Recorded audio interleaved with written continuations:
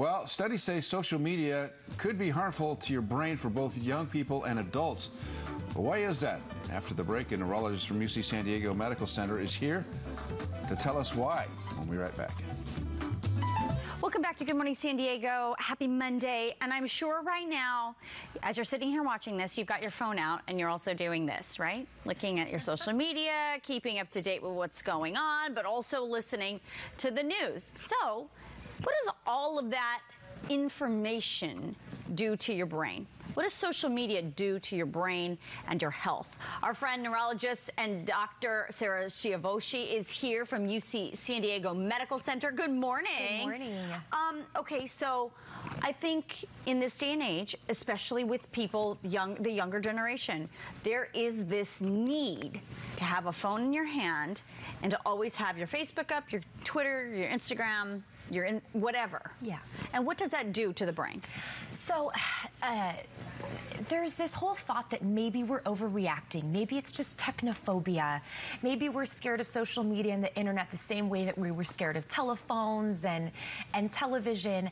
But I, I think that there is valid cause to be concerned, especially about our teenagers.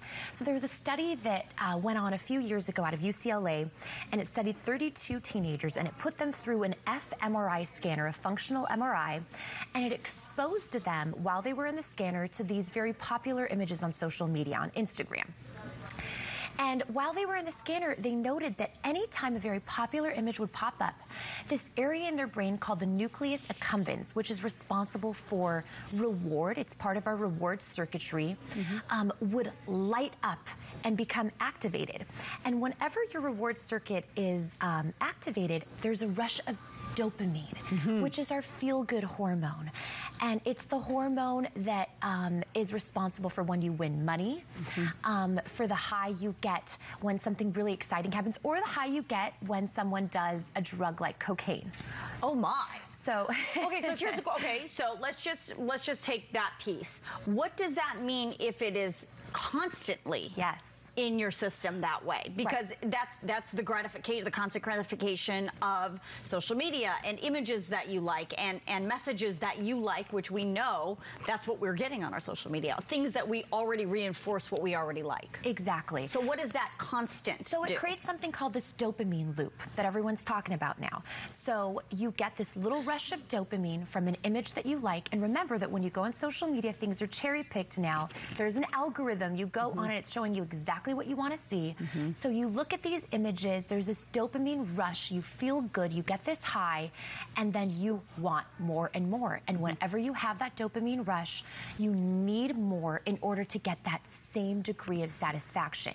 And it's also exactly as you said, instant gratification. Mm-hmm. So if I'm confronted with the things on my to do list, um, things that are going on in my life that I just don't want to talk about or I don't want to deal with, I can quickly go to social media, go to Instagram, and get this high mm-hmm. that I'm looking for. Let's look at the other side of that because it's not just it's not just positive reinforcement that you're getting on social media. Sometimes there's also some negatives that you start to see that yes. also impact you. And this study is saying that um, the negative impacts and the severity of those negative impacts really are based on your own mental state to begin with. Right. Well, you're constantly comparing yourself to others, mm-hmm. right? When I'm constantly looking at images of people's uh, selected good times and not the negatives, it's easy for me to say, wow, I want that. Mm-hmm. I want that because what I see is in front of me. It's in right. my life. I'm not looking at my own Instagram mm-hmm. perfect images constantly, unless you know you are, right, right, which right. happens, and you live in this alternate reality. But you're looking at everyone else's curated reality of just what the good parts is that they're showing you. Right. So it has a really significant impact on our overall sense of confidence. Right. Okay. Well-being. So um, you look at, a, at, people's brains all day long. That is what you do. You know, as a neurologist, you see the effects of negative things. You know, negative things to the brain, positive things to the brain. Um, after reading all of these studies, what would you say about the brain function and social media for your patients? What would you tell your patients? Well, I would say remember that myself as an adult who has a fully formed brain, a fully formed frontal lobe mm-hmm. that is capable of making decisions and judgment calls where I can say, okay, time to put my phone down.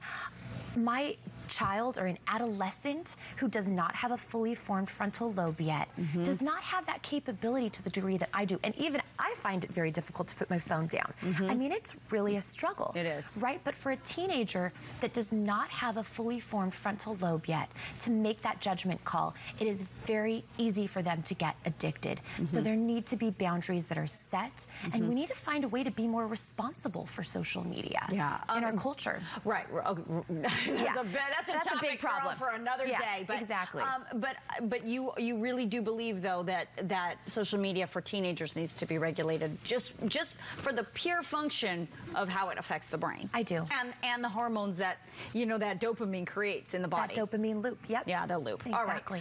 All right. All right, Dr. Sara Siavoshi, always great to see you. Thank you. Thank you for Nice your to you time. too. All right.